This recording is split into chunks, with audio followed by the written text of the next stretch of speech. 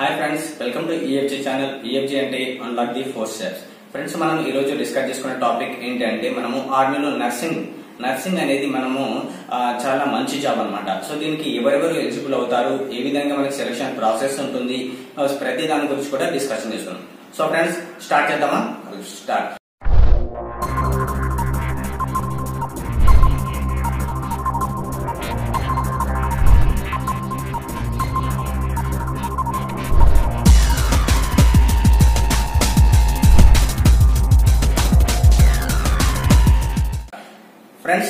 మనం ఆర్మీలో నర్సింగ్ గురించి డిస్కస్ చేసుకుంటాము. ఈ యొక్క నర్సింగ్ అనేది చాలా చాలా బెస్ట్ జాబ్ అనొచ్చు. సో దీనికి క్వాలిఫికేషన్ ఏంటి అని అంటే మనకి ఇంటర్లో బైపీసీ చేసిన వాళ్ళు ఎవరైతే ఉంటారో దీనికి ఎలిజిబుల్ అనేది అవుతారు. అయితే మరి ఇంటర్లో ఎంత పర్సెంటేజ్ ఉండాలి? మార్క్స్ సో ఓవరాల్గా టోటల్ మార్క్స్ కూడా మనకి ఫిఫ్టీ పర్సెంటేజ్ ఉండాలి. అంటే థౌసండ్కి ఫైవ్ హండ్రెడ్ అనేది మార్క్స్ ఉండాలి. అయితే మరి ఇంగ్లీష్లో ఎంత పర్సెంటేజ్ ఉండాలి? అంటే ఎస్పెషల్లీ మనకి ఇంగ్లీష్ సబ్జెక్ట్లో ఎస్పెషల్లీ సబ్జెక్ట్లో మనకి క్వాలిఫికేషన్ అనేది అడుగుతుంటారు. అదేవిధంగా ఓవరాల్గా అడుగుతుంటారు. మనకి ఇంగ్లీష్లో చూ- చూసుకున్నట్లయితే మనకి ఇంగ్లీష్లో ఫిఫ్టీ పర్సెంటేజ్ అనేది ఉండాలి. అంటే first year second year total కలిపి కూడా మనకి ఫిఫ్టీ పర్సెంటేజ్ అనేది ఉండాలి.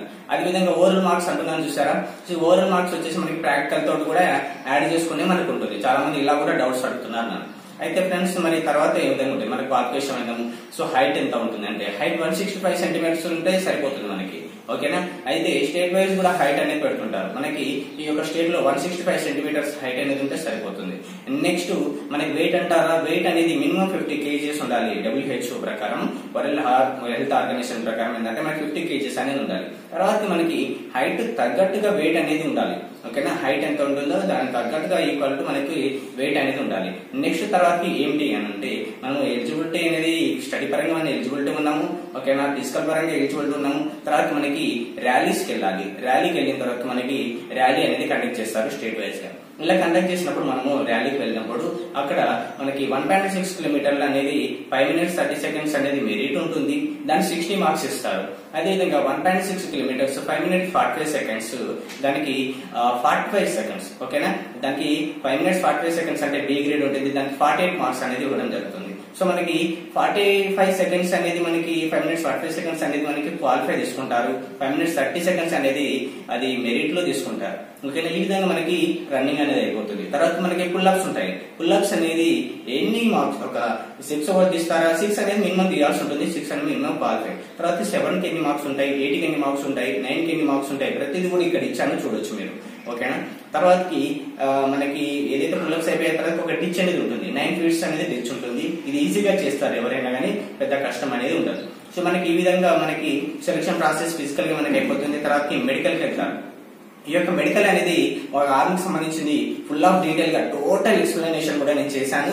సో మీరేం చేస్తారంటే ఇక్కడ పైన లింక్ ఉంది చూసారా? ఇక్కడ పైన ఐ సింబల్ వస్తుంది. సో దాన్ని చూసినా గానీ దాన్ని క్లిక్ చేసినా గానీ మీకు మెడికల్ సంబంధించిన రావస్తుంది. నెక్స్ట్ అదేవిధంగా డిస్క్రిప్షన్లో చూస్తే మీరు కూడా అక్కడ కూడా లింక్ ప్రొవైడ్ చేస్తాను. మీరు ఆ లింక్ క్లిక్ చేసినట్లయితే మీరు మెడికల్కి వెళ్ళొచ్చు. ఓకేనా? మెడికల్ వీడియో మీకు వస్తుంది అనమాట మెడికల్లో part one part two video తీసాను. రెండు కూడా డిస్క్రిప్షన్లో ఇస్తాను లింక్స్ అనేది. ఓకేనా? అది చాలా క్లియారిటీగా ఉంటుంది. నెక్స్ట్ మనకి మెడికల్ అయిపోయిన వెంటనే మనకి రిటర్న్ ఎగ్జామ్ ఉంటుంది. ఓకేనా ఈ రిటర్న్ ఎగ్జామ్ అనేది చాలా చాలా ఇంపార్టెంట్ అండి. ఎందుకంటే మనకి ఆల్ ఇండియా మెరిట్ అనేది కూడా పెడుతుంటారు. సో ప్రతిదీ కూడా మనము చాలా జాగ్రత్తగా కేర్ తీసుకోవాల్సి ఉంటుంది. అయితే మనకి ఇందులో వేటిలో మనకి ఎన్ని మార్క్స్ వస్తాయి అని అంటే ఓవరాల్గా ఫిఫ్టీ మార్క్స్ కట్ తీసుకుంటారు ఇంకా ఫిఫ్టీ మార్క్స్ తీసుకుంటే మనకి బయాలజీ అనేది ఫిఫ్టీ ఇస్తారు. అదేవిధంగా జువాలజీ అనేది ఫిఫ్టీన్ మార్క్స్ ఇస్తారు. ఎందుకంటే మనం బైపీసీ వాటికి. నెక్స్ట్ జీకే అనేది టెన్ మార్క్స్ ఇస్తారు. ఓకేనా? మనకి అదే విధంగా మ్యాథమెటిక్స్ అనేది చూస్తారా? మ్యాథమెటిక్స్లో కూడా మనకి రిమైనింగ్ మార్క్స్ అనేది ఇవ్వడం జరుగుతుంది. సో టోటల్ కూడా మనకి ఫిఫ్టీ మార్క్స్ అనేది పేపర్ నెగిటివ్ మార్క్ అనేది కూడా ఉంటుంది. ఈ యొక్క నెగిటివ్ మార్క్ అనేది మనకి జీరో పాయింట్ టూ ఫైవ్ అనేది నెగిటివ్ మార్క్ ఉంటుంది. అదే విధంగా ఫ్రెండ్స్ చాలా మంది ఏం చేశారంటే ఫిఫ్టీ మార్క్స్ని ఇంటూ ఫోర్ చేస్తారు ఓకేనా ఇంటూ ఫోర్ చేసి మనకి ఏం చేస్తారంటే టూ హండ్రెడ్కి కౌంట్ చేస్తారు. టూ హండ్రెడ్ కౌంట్ చేసి మళ్ళీ అదే నెగిటివ్ మార్క్ని సో మళ్ళీ దాన్ని డబుల్ చేసి అలా చేయడం జరుగుతుంది. సో మనం అలా చేసుకోవడం అవసరం లేదు. మనం ఫిఫ్టీ మార్క్స్ చూసుకుంటే మనకి మినిమం అనేది థర్టీ ఫైవ్ ప్లస్ అనేది మనకి ఈజీగా రావాలి. థర్టీ ఫైవ్ ప్లస్ అనేది ఈజీగా రావాలి.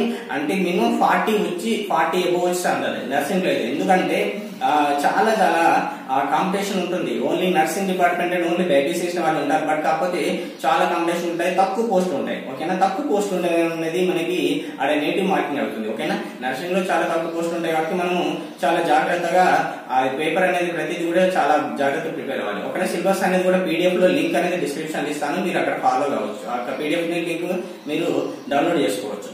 నెక్స్ట్ అదే విధంగా ఫ్రెండ్స్ మనకి ఒక రిటర్న్ ఎగ్జామ్ కూడా అయిపోయింది. తర్వాత రిటర్న్ అనేది ఉంటుంది. ఆ మెరిట్లో కూడా క్వాలిఫై అయ్యాం. అయితే ఫ్రెండ్స్ చాలా మందికి సర్టిఫికేట్స్ ఏం అవసరం అవుతాయి అంటారు. చాలా మంది సర్టిఫికేట్స్ ఏం కావాలి అని అంటే మరి ర్యాలీకి వెళ్ళేటప్పుడు అంటే రెసిడెన్స్ అనేది చాలా ఇంపార్టెంట్ ఓకేనా? నేను టెన్త్ మెమోని ఇంటర్ మెమోని వదిలేసి ఫస్ట్ రెసిడెన్స్ అనేది చెప్తున్నాను అంటే ఈ టెన్త్ మేము ఇంటర్ మెమో అనేది ఎవరైనా కామన్గా తీసుకెళ్తారు. ఓకేనా తీసుకెళ్ళడానికి ఏంటిదంటే రెసిడెన్స్ చాలా మంది కూడా రెసిడెన్స్ అనేది కూడా మర్చిపోతుంటారు. సో నెక్స్ట్ ఫ్రెండ్స్ మనకి పాస్ ఫోటోస్ అనేది కూడా చాలా ఇంపార్టెంట్ పాస్ ఫోటోస్ కూడా తీసుకోండి. ఈ యొక్క రెసిడెన్షియల్ మనము ఫైవ్ ఇయర్స్కి ఎబోవ్ పెట్టించాలి ఓకేనా మనము రెసిడెన్స్ అంటే ఒక ఫైవ్ ఇయర్స్ నుంచి మేము మా విలేజ్లో ఉంటున్నాము అన్న విధంగా ఉంటుంది. రెసిడెన్స్ అనేది కానీ క్యాస్ట్ కూడా ఉంటుంది. క్యాస్ట్ కూడా తీసుకెళ్ళండి.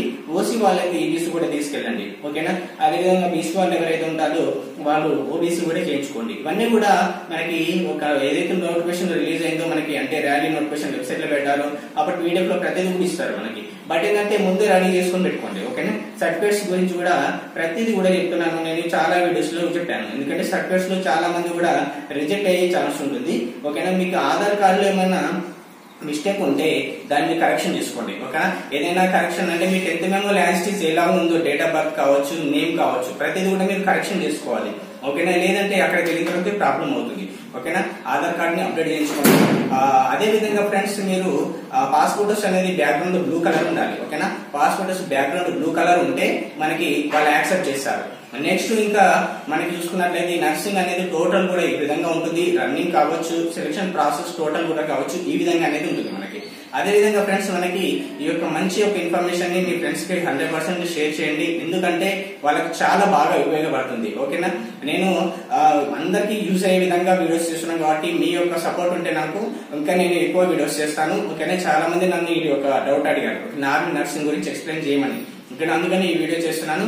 ఓకేనా friends? Thank you for watching all the best